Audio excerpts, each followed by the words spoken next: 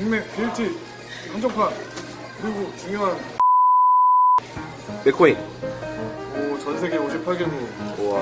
어, 이게 아까 얘기한 우리나라 포함인가? 충남, 충남 아산시 영인로에서 만들었는데 어? 아닌데? 제조 공명은 USA인데 아 수입 수입이겠지.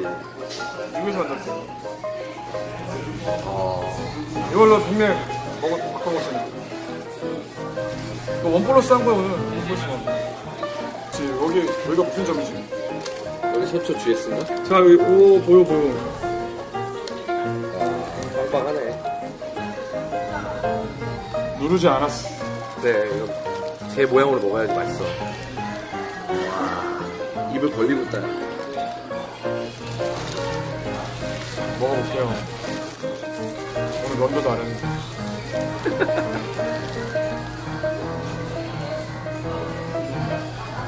어때?